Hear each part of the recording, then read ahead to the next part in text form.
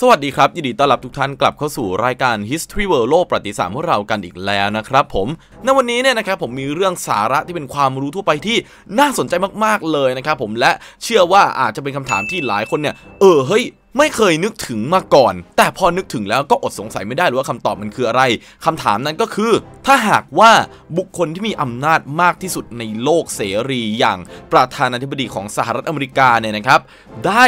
ไปก่ออาชญากรรมมา หรือทำผิดกฎหมายมาเนี่ยเขาจะโดนลงโทษหรือเปล่า และถ้าโดนลงโทษเนี่ยจะโดนแบบไหน และผู้ตัดสินความผิดบทลงโทษเนี่ยเป็นใคร ในเมื่อประธานาธิบดีสหรัฐเนี่ยโอ้โหเป็นผู้ที่มีอำนาจที่สุดไม่ใช่เหรอใครจะมามีอำนาจไปกว่าประธานาธิบดีได้เออก็เป็นคำถามที่น่าสนใจมากๆเลยนะครับโอเคนะครับขั้นแรกเลยเนี่ยจากคำถามที่ถามว่าถ้าประธานาธิบดีสหรัฐเนี่ยทำผิดกฎหมายขึ้นมา เขาจะรอดจากขั้นตอนทางกฎหมายไหมคำตอบก็คือไม่รอดนะครับผมถึงจะดำรงตำแหน่งของออฟฟิศประธานาธิบดีที่เป็นอำนาจบริหารสูงสุดของสหรัฐอเมริกาเนี่ยก็ไม่ใช่ว่าเขาจะรอดไปได้ เพราะต้องบอกเป็น background ไว้ก่อนนะครับผมว่าอำนาจของรัฐที่ปกครองด้วยประชาธิปไตยทั่วไปเนี่ยนะครับผมส่วนใหญ่เนี่ยเขาจะมีการ check and balance ครับ นั่นก็คือ 3 เสาหลักอำนาจที่คอยถ่วงดุล และตรวจสอบซึ่งกันและกัน นั่นก็คือบริหารตุลาการและนิติบัญญัติ บริหารเนี่ยนะครับผมก็คืออำนาจในการปกครองของประธานาธิบดีเนี่ยแหละ ส่วนตุลาการก็คือพวกศาลนะครับ และนิติบัญญัติก็คือเหล่าสสสว ในสภาคองเกรสที่มีอำนาจในการอนุมัติร่างกฎหมายต่างๆ นั่นเอง เพราะฉะนั้นการจะบอกว่าประธานาธิบดีสหรัฐเนี่ยนะครับผมอยู่เหนือกฎหมายแล้วไม่มีใครตรวจสอบได้เนี่ยไม่จริงครับอะทีนี้ประธานาธิบดีสหรัฐก็ต้องเข้าสู่กระบวนการทางกฎหมายเหมือนคนทั่วไปคำถามต่อมาคือประธานาธิบดีจะโดนอะไรนะครับผมในกระบวนการทางกฎหมาย ถ้าหากทำผิด อย่างแรกเลยเนี่ยนะครับผมต้องแยกแยะ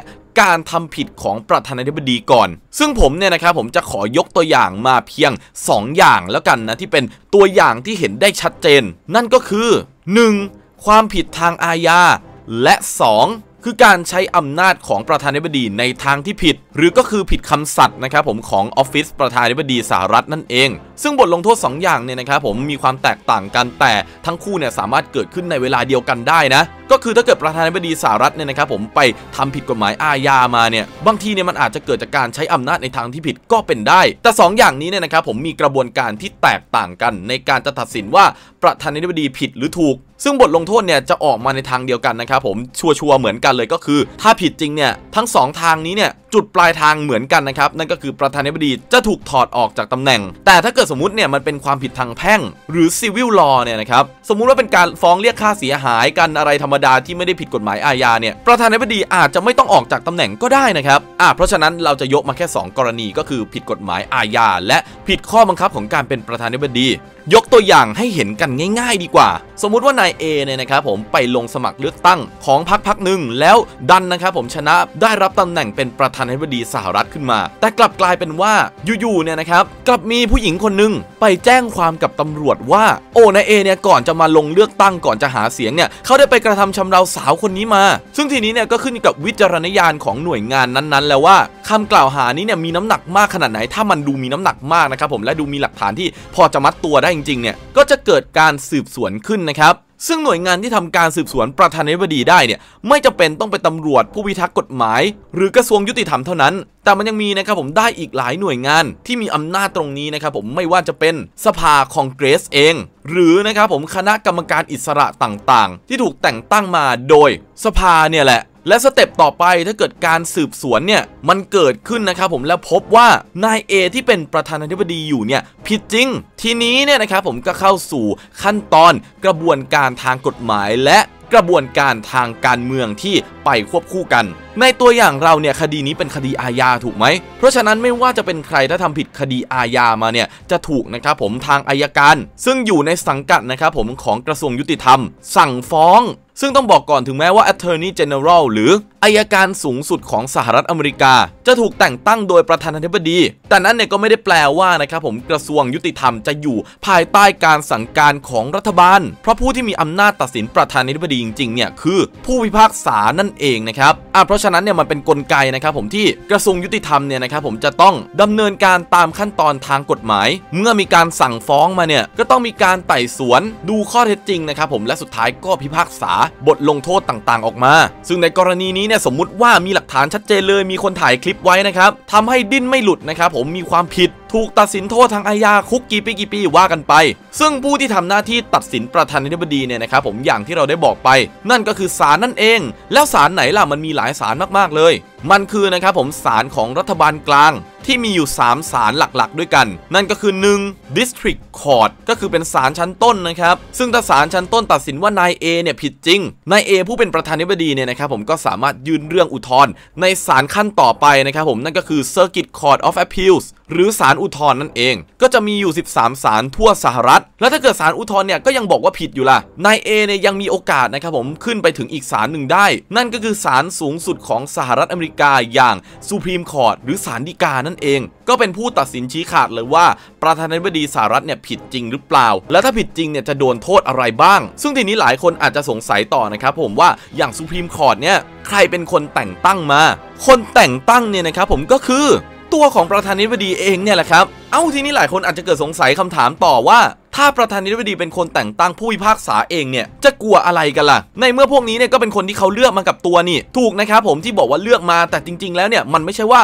ประธานาธิบดีจะเลือกใครก็ได้ เพราะนะครับผมผู้ที่ถูกเลือกมาเนี่ยจะต้องผ่านนะครับผมการอนุมัติจากเซเนตนะครับผมหรือสมาชิกวุฒิสภาก่อนซึ่งเหล่าสวพวกนี้เนี่ยนะครับผมก็ถูกคัดเลือกมาจากการเลือกตั้งเนี่ยแหละอ่าเพราะฉะนั้นนะครับผมก็เหมือนเป็นเสียงของประชาชนด้วย แต่อย่าลืมนะทุกคนว่าในประเทศที่เป็นประชาธิปไตยเนี่ยมัันไม่ใช่ว่าคุณจะตัดสินอะไรมั่วๆซัวๆก็ได้นะ เพราะพอฐานทุกอย่างเนี่ยมันมาจากการเลือกตั้ง ถ้าคุณตัดสินผิดให้เป็นถูกหรือถูกให้เป็นผิดเนี่ยและประชาชนไม่พอใจไม่เอาด้วย นั่นเท่ากับว่าคุณจบอาชีพทางการเมืองของคุณเลย สมัยหน้าเนี่ยเขาอาจจะไม่เลือกคุณขึ้นมาเป็นก็ได้อากลับมาที่การพิจารณาคดีต่อ ถ้าสมมุติว่าศาลฎีกาเนี่ยนะครับผมตัดสินว่า อยู่มีความผิดนะ มีบทลงโทษเป็นจำคุก 2 ปี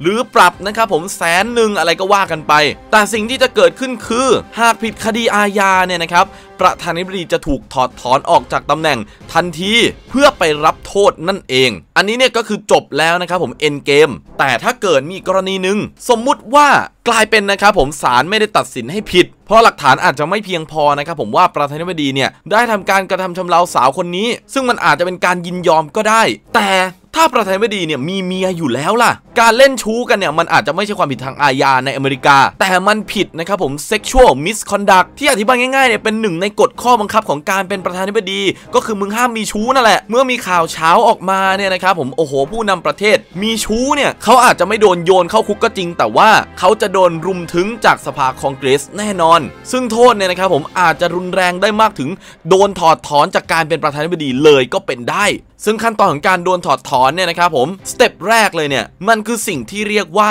impeachment ครับ ขั้นตอนนี้เนี่ยสมาชิกสภาล่างนะครับผมหรือเหล่าสสเนี่ยจะโหวตกันนะครับผมว่าสมควรจะไต่สวนนะครับผมประธานาธิบดีในเรื่องของความผิดดังกล่าวไหม ซึ่งการโหวตเนี่ยนะครับผมก็คือเอาจากเสียงข้างมากเลย ถ้าเสียงส่วนใหญ่ว่าประธานาธิบดีผิดจริง ก็จะเข้าสู่กระบวนการที่ 2 นั่นก็คือ removal ซึ่งจุดนี้เนี่ยแหละครับผมจะเป็นจุดตอกฝาโลงว่านายเอจะโดนถอดถอนออกจากตำแหน่งหรือเปล่า แต่ต้องบอกเลยว่าขั้นตอนนี้เนี่ยไม่ใช่ขั้นตอนที่ง่ายเลย ไม่อย่างนั้นนะครับผมถ้าเกิดสภาไม่พอใจประธานาธิบดีคนไหนเนี่ยก็แค่สาดสีใส่กันนะครับผมเอาข่าวเช้ามาปล่อยมั่วๆแล้วก็ถอดถอนออกได้อย่างนี้ ในประวัติศาสตร์ของอเมริกาเนี่ยนะครับผมถึงจะมีประธานาธิบดีหลายคนนะครับผมที่ถูกเอาเข้าสู่กระบวนการถอดถอนเนี่ยแต่ก็ไม่มีใครนะครับผมถูกถอดถอนจากกระบวนการนี้ได้จริง ๆ เพราะว่าหลังจากที่ผ่านการ impeachment จากสภาล่างเนี่ยผู้ที่จะตัดสินต่อเนี่ยก็คือสภาบนหรือสวเหล่าเซเนตนั่นเอง แต่คราวนี้เนี่ยไม่เหมือนกับสภาล่างแล้วที่ใช้แค่เสียงส่วนใหญ่ในการถอดถอนแต่สำหรับสภาบนเนี่ยนะครับผมต้องใช้เสียง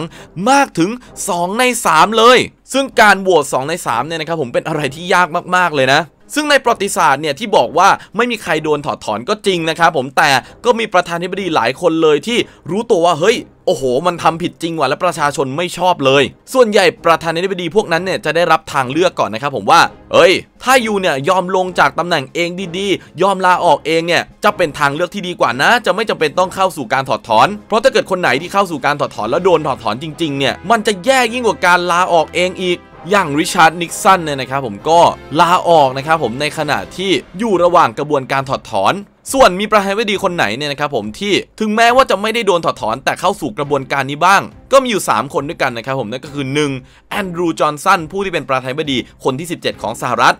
2. นายบิลคลินตันนะครับผมอ่า ทุกคนอาจจะเคยได้ยินชื่อนี้กัน ประธานาธิบดีคนที่ 42 โดนกล่าวหาในเรื่องของการเล่นชู้เนี่ยแหละ และคนที่ 3 เนี่ยนะครับผมทุกคนอาจจะคุ้นชื่อนี้กันอย่างดีเลยนั่นก็คือนายโดนัลด์ทรัมป์นะครับผมซึ่งทรัมป์เนี่ยไม่ได้โดนธรรมดานะครับผมแต่เขาเนี่ยโดน 2 รอบเลยทีเดียวโอ้โห